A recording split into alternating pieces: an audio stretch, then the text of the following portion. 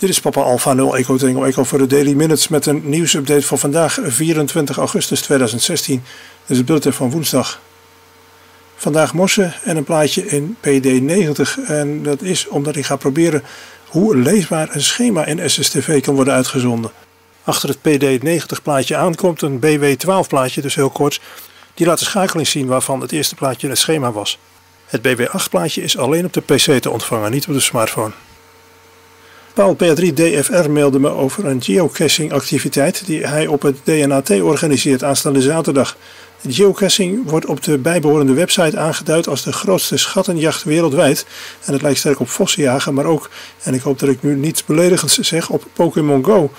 Het wordt gedaan met GPS-ontvangers, waarbij zogenaamde caches of geocaches worden verstopt en op coördinaten moeten worden gezocht. Een typische cache heeft de vorm van een waterdichte container die een logboek bevat. De geocacher tekent het logboek en voegt er een code aan toe om te laten zien dat hij het was die er geweest is. Vervolgens wordt de cache zo precies mogelijk teruggeplaatst voor de volgende deelnemers. Geocaching wordt ook door een redelijk aantal zendamateurs beoefend. Die registreren zich vaak met hun roepnaam, maar soms ook met een andere naam. Informatie over geocaching is onder andere te vinden op Wikipedia en op de website www.geocaching.com. Ik zal het even spellen, want het gaat gemakkelijk fouten. Dus www Charlie Alpha Charlie Hotel India November Golf.com.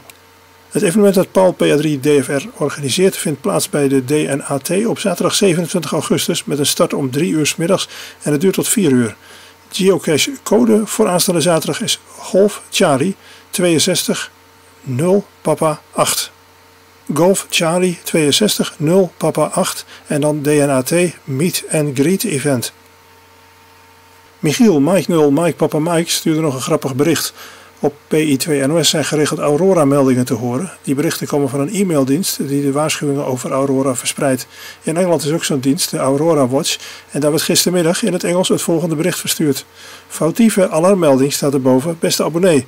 Wij verontschuldigen ons voor de eerdere valse melding van 13.25 uur UTC. Deze melding werd veroorzaakt door een grasmaaier die lokale storing veroorzaakte bij onze ontvangstlocatie in Lancaster. In de VS hebben drie bedrijven voor de Amerikaanse aanklager toegegeven dat ze met afgesproken prijzen hebben gewerkt bij de levering van elektrolytische condensatoren. Het gaat om de bedrijven Rubicon Corporation, Elna Co. Limited en Holystone Holdings Company Limited die nu hebben toegegeven dat ze hebben samengespannen om de prijzen van dit soort condensatoren kunstmatig hoog te houden. Twee andere bedrijven, NEC Token Corp en Hitachi Chemical Company Limited, die bekenden eerder al schuld en kregen daardoor een lagere straf. Zo melden verschillende bronnen, waaronder het Amerikaanse ministerie van Justitie. NEC Token betaalde in januari een boete van 13,8 miljoen dollar en Hitachi Chemical in maart 3,8 miljoen. Een curieus bericht dat ook meerdere bronnen melden is dat de Amerikaanse luchtmacht door middel van CubeSats de ionosfeer wil ioniseren om zo de propagatie op HF te verbeteren. Het bericht is oorspronkelijk gepubliceerd op de site van New Scientist. Er werken drie, er werken drie onderzoeksgroepen aan elk een eigen concept van het project. De grootste moeilijkheid bestaat er waarschijnlijk uit om een plasmagenerator te ontwikkelen die enerzijds in een CubeSat past en die daarnaast ook zuinig genoeg met energie omgaat. Volgens het artikel in New Scientist is dit niet de enige keer dat dit geprobeerd is. Een eerdere poging werd bijvoorbeeld gedaan met de HAARP-antennes in Alaska.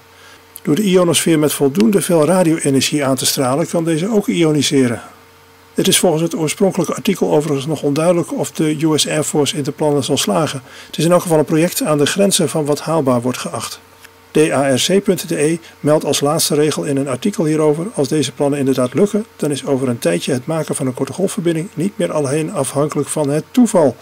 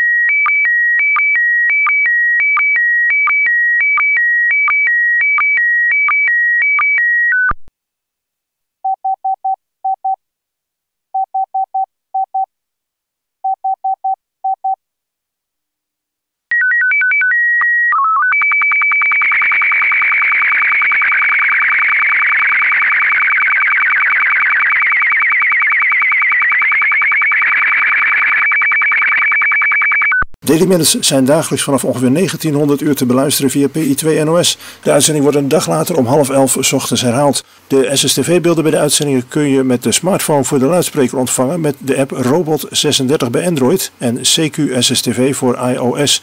Verder is er MM SSTV voor Windows en QSSTV dat je met apt-get install kunt installeren op alles wat op Ubuntu lijkt. De nieuwsitems in de Daily Minutes worden volgens professionele journalistieke principes samengesteld, vergelijkbaar met zoals het bij een vakblad op papier gebeurt of bij een krant. A few months ago, a phone rings on the desk of an operator at Verizon. It's a routine call from one of their technicians in the field. The tech's tools are down, and he needs to confirm that the customer he's meeting with is who they say they are. The technician provides his employee ID, and Verizon gives him the customer's info.